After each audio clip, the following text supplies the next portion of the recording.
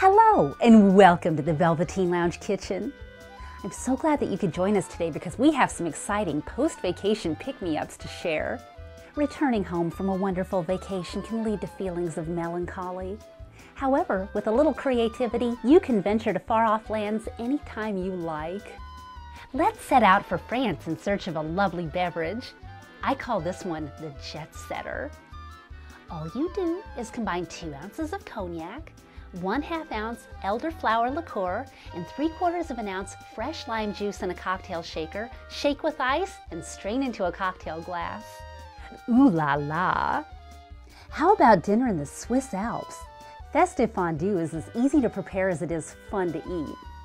All you do is chop a crusty loaf of bread into chunks and allow to stiffen slightly.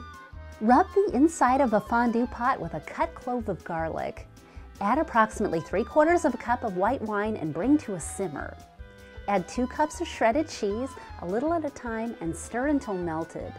Combine 1.5 ounces of kirsch and 2 teaspoons of cornstarch and add to fondue, stirring until thickened. Dunk bread with fondue forks and enjoy. Did you know that there are many vacation activities that you can enjoy in your own home? Allow exotic music to transport you to strange lands, or watch foreign films for a taste of other cultures. Learn crafts or dances from other countries and soon you'll feel as if you're really there. Remember, you can travel anywhere you like in your imagination, so pack your bags and leave the humdrum behind, returning home only when you're ready. Thank you for visiting the Velveteen Lounge Kitsch-en. See you soon! This has been the Velveteen Lounge Kitsch-en. Tune in next time for tips on ridding your home of pesky ghosts.